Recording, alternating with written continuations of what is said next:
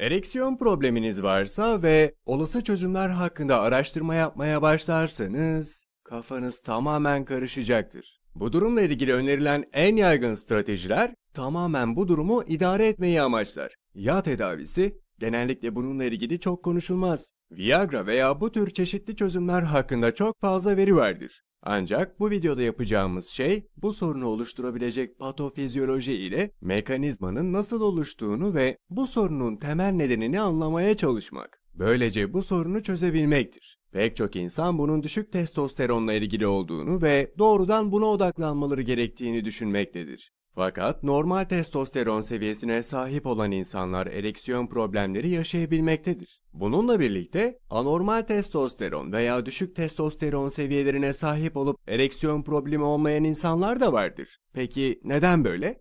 Testosteron cevabın bir parçasıdır. Ama bu konuyla ilgili sizinle paylaşmak istediğim daha fazla bilgi vardır. Ereksiyon problemleriyle ilgili en önemli moleküllerden biri nitrik oksit olarak adlandırılmaktadır. Evet, nitrik oksit. NO. Vücudumuz bunu üretebilir ve onu yiyeceklerden alabiliriz. Ama görünüşe göre nitrik oksit yaşlandıkça azalmaktadır. 40 yaşına geldiğinizde %50 seviyelerinde olur. Nitrik oksit ereksiyonda ana rol oynar. Aslında Viagra ilacı da belirli nitrik oksit yollarını kullanır. Bu nedenle ereksiyon problemi oluşmasının en olası nedeni nitrik oksit molekülü eksikliği ile ilgilidir. Bu videoda hakkında konuşacağımız şey bu teoriyle bağlantılı olan tüm bilgilerdir. Çünkü bu teoriyi destekleyecek ne kadar bilgi ortaya koyabilirsek o kadar doğru olacaktır. Pekala nitrik oksit endotel hücreleriniz tarafından yapılır. Bu hücreler arterin içindeki hücrelerdir. Yani nitrik oksidin ana görevi atar damarların genişlemesine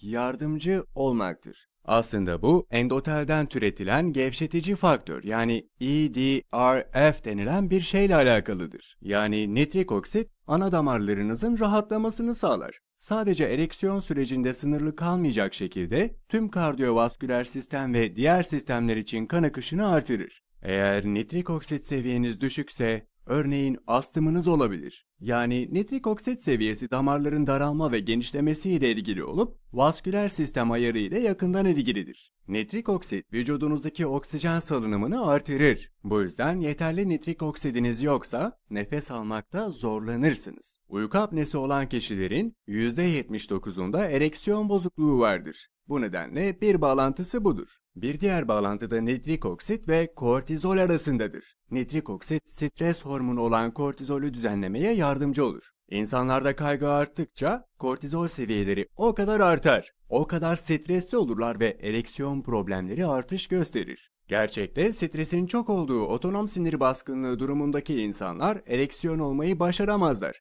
Ereksiyon durumu, düşük stresli, sakin durumda olduğunuz, parasempatik baskınlık durumu olduğunda oluşabilir. Bu yüzden erkekler uyurken daha parasempatik baskın olduklarından erekte olurlar. İlginç olan başka bir bağlantı daha vardır. Nitrik oksidin testis steroidleri üzerinde çok derin bir etkisi vardır. Bu nitrik oksidin testosteron yapmakta yardımcı olduğu anlamına gelmektedir. Buna göre nitrik oksit ve testosteron arasında bağlantı vardır. Eğer nitrik oksit seviyeniz düşükse muhtemelen yeteri kadar testosteron yapamayacaksınız. Nitrik oksit ayrıca luteinize edici hormonla ilişkilidir. Bu testisleri ve yapacakları testosteron miktarını kontrol eden hipofiz bezi tarafından üretilen hormondur. Nitrik oksit, REM uykusu da dahil olmak üzere uyku döngüleriyle yakından ilgilidir. Bu aynı zamanda bir kişinin uyku problemi, e, uykusuzluk ve uyku apnesi varsa ereksiyon bozukluğu geliştirme olasılığının daha yüksek olmasının nedeni olabilir.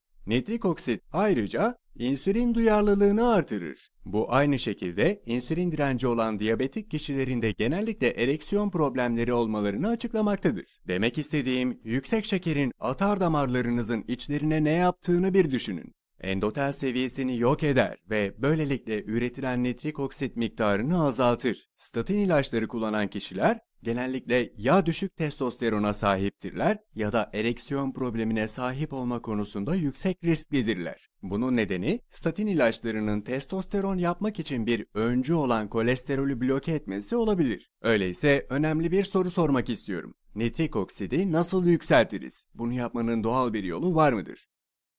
Cevap evet. İlk olarak burundan nefes almaya başlayabilirsiniz. Doğrudan burundan nefes almaya başlayın. Ağzınızdan değil. Görünüşe göre bunu uyguladığınızda nitrik oksit seviyenizi artırırsınız. Ayrıca burnunuzdan nefes alarak kanınızdaki oksijen seviyesini %20 oranında artırabilirsiniz. Çünkü daha fazla direnç vardır. Ağızdan nefes almak ile burundan nefes almak arasında %50 seviyesinde direnç farkı vardır. Görünüşe göre bu ciğerlerinize ve vücudunuzun geri kalanına giden nitrik oksidi artırır. Oksijeni salmanıza da yardımcı olur. Yeteri kadar nefes alamayacağınızı düşünüyor olabilirsiniz. Fakat burnunuzdan nefes aldığınızda daha çok oksijeni serbest bırakırsınız. Ayrıca ilk yöntemi ikinci yöntem olarak söyleyeceğim düzenli egzersiz ile birleştirdiğinizde örneğin yoğun nefes almaya ihtiyacı duymayacağınız bir tür hafif bir egzersiz yapacağınızı varsayalım. Eğer bu durumda burundan nefes alabilirseniz nitrik oksidi artırırsınız. Egzersiz yapmak nitrik oksidinizi artıracak şekilde vasküler sistemdeki endotel hücrelerinizi artırır. Ayrıca yiyeceklerinizdeki nitratları artırarak da nitrik oksidi artırabilirsiniz. Ve nitrat açısından zengin besinler